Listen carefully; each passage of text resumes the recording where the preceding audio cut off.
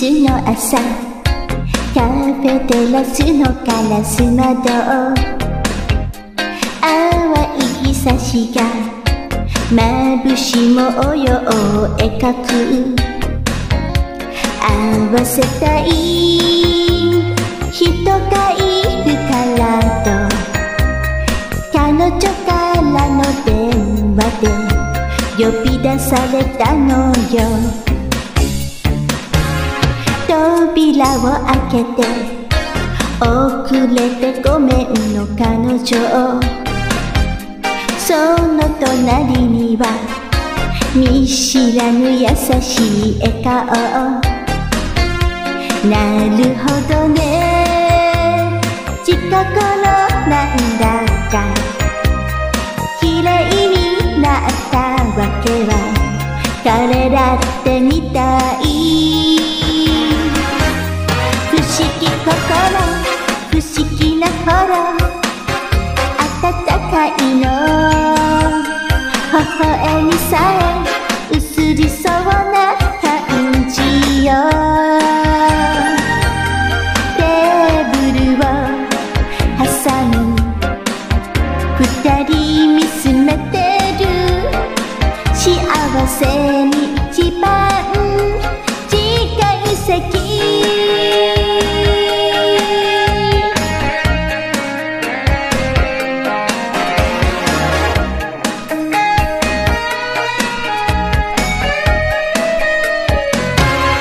眼差しで今彼女にささやきかける。好みのタイプ違っていてよかったね。冬晴れの青空バックに似合いの二人今日は怒りなさいよ。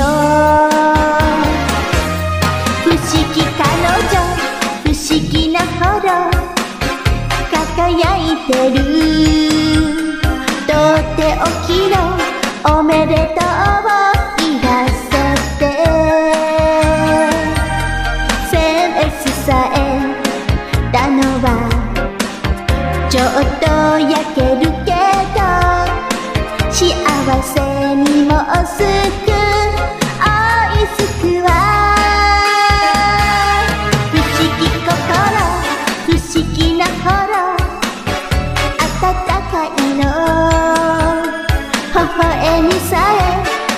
そうな感じよ。